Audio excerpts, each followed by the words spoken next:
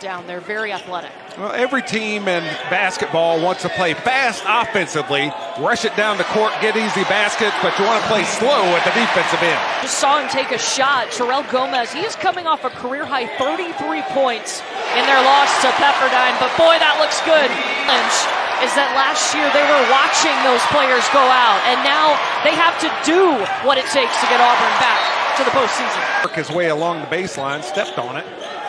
But this this Northridge team, I will not be surprised to see them in the NCAA tournament at the end of the season. Maybe a notch in Auburn's belt. Auburn with a, a big size advantage. Advantage really in just about every way, especially with that guy. His guards playing defense, and he said he feels like this group of guards has the chance to be even better defensively than they were last season. Bucket goes up and in. Third Perry for CSUN. And finally, they have their first points in this game. And But it's a quick answer on the other end. J'Von McCormick. Auburn, ball handling, quickness in the backcourt. They are able to advance it in a hurry. Brown kicks it out. Answer by Northridge, pushing it down the court, getting the inside out jumper. Doughty. Boom!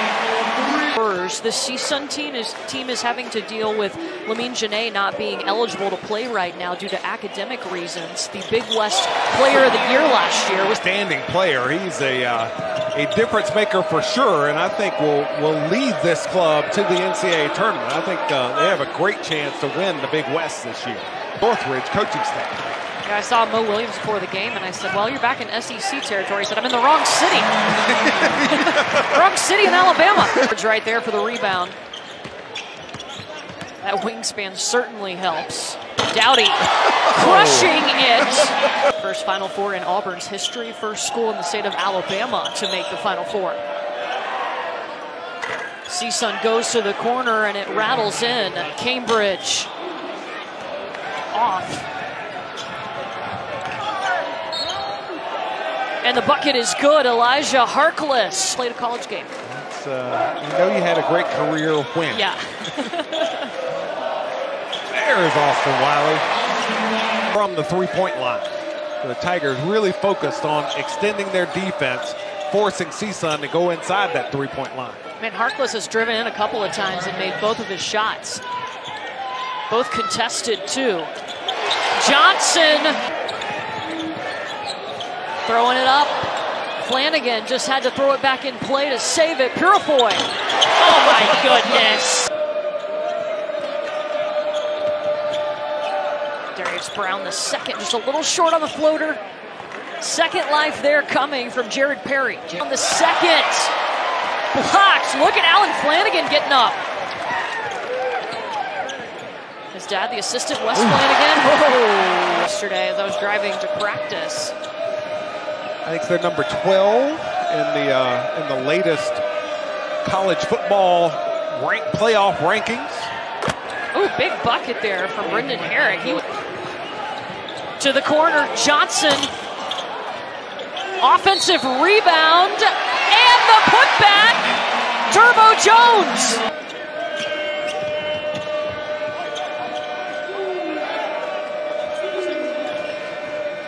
Gomez Step back. Some of the theatrics out of the game. Gomez with a great move to the rack. Here's the Big West Freshman of the Year and then All Big West first team last year. Big bucket for Auburn. Eight now for Wiley. Woo. Deep, deep, deep three. Better get to him. Cambridge looking to answer. He does. I think that's the uh, one of the big differences in college basketball. The guys just oh. shoot it so much better. Ooh. On the break, Cambridge. They started this game on an 11-point run and have controlled it since. Their, their scoring pace has slowed down. They're only on about 130 point pace for the game. Bulge right now for Auburn. Can see CSUN chip away, get it down to closer to 20 here at halftime, maybe? Maybe not. Oh, brings in Babatunde Akingbola. They call him Stretch, number 13 in that white jersey. Shot up from Herrick, and it's good. And he's got to be he's got to be Jim's grandson or something, right?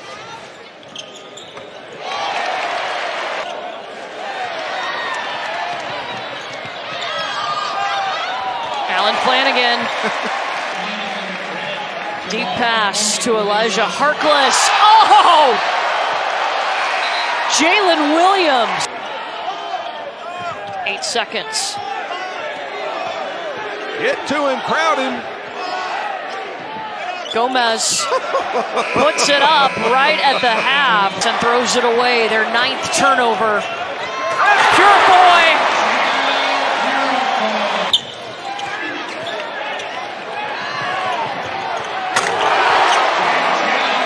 D'Angelo Purifoy. He will be okay and will be able to return this season. Shot goes up. Player on the floor. Lamine Diane is academically ineligible, has been all season. He was the Big West Player of the Year last year, sixth in the nation in points and rebounds per game. The university trying to get him eligible to play immediately. December 22nd, Diane will be back on the court for this CSUN team, and what a difference he's going to make. Pass thrown up. Court.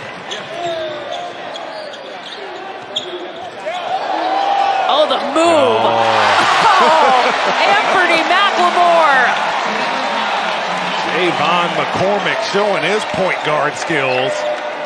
Don't leave that guy open. Ooh, pass. Don't leave that guy open either. Has a career high 12 assists already. Boy, J'Von's been so impressive tonight. Okoro back out to Doughty.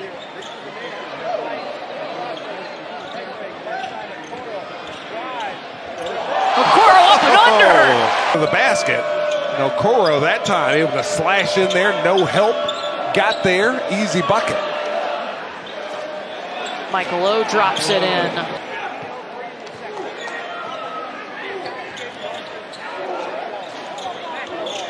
Anfernee McLemore. and Herrick's shot is off. Lays it up. Oh. When you slow it down, when you, slow, you show the replay, you know where the pass is going to go. We can all see it. J'Von can see it full for these Auburn Tigers. Okoro taking it in on two defenders. The Crimson Tide in the double O's decade. And now at Northridge, still coaching the team. Stud player Lamine Diane back.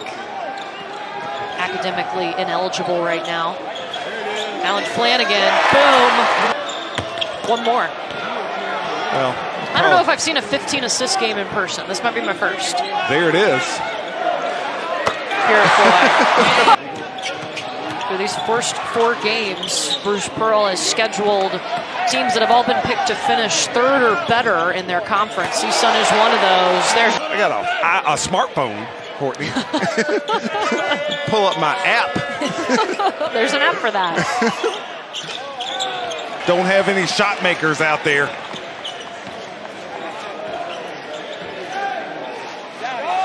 Doughty's a shot maker. really likes Okoro. I was asking him about the freshman before the game. I was really impressed by him. Who's not? Yes. For the last week, they've had a lot of late nights on the road where they get back at, you know, 1.30, 2.30 in the morning and then 8 a.m. classes. So on Wednesday, he won work with Coach Pearl, going through different things, how to improve, and he really enjoyed, you know, bench points tonight. Purifoy. Have over five minutes left. You're going to beat a lot of ball clubs if you're shooting shooting the ball at that clip. A couple of home games in there and then two on the road. CSUN team on their way to Richmond to play the Spiders on Monday. Point range. Nothing to complain about for the Auburn Tigers tonight on the hardwood is definitely a good sign for the Tigers. Oh! Cambridge.